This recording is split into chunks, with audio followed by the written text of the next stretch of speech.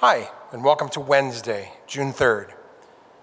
Sometimes we, or maybe even somebody else, assigns a label to us. We may refer to ourselves as opinionated, impatient, short tempered, stubborn, shy, overbearing. There's all kinds of things that we can conclude that we are. And lots of times they're negative terms. St. Paul was once a persecutor of the Jewish people and considered a Pharisee by many. But he went on from that to be an apostle. How does that happen? Aside from the dramatic conversion experience that Paul had on the road to Damascus, falling off his horse and hearing a voice asking, Why are you persecuting me? Something else happened to Paul. God had to overwhelm Paul's stubborn personality with a radically different outlook. Is that possible for us? Are the positions we hold able to be changed by our sincere and deep desire to be changed?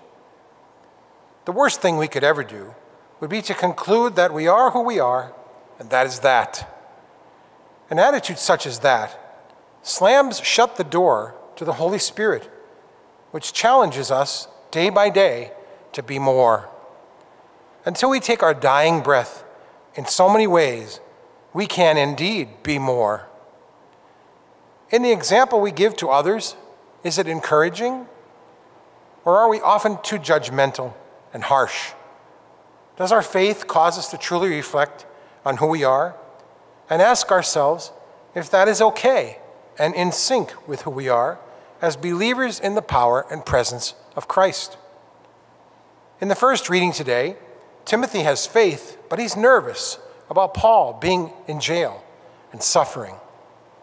Paul, in essence, tells Timothy, stop cowering and go and preach the good news.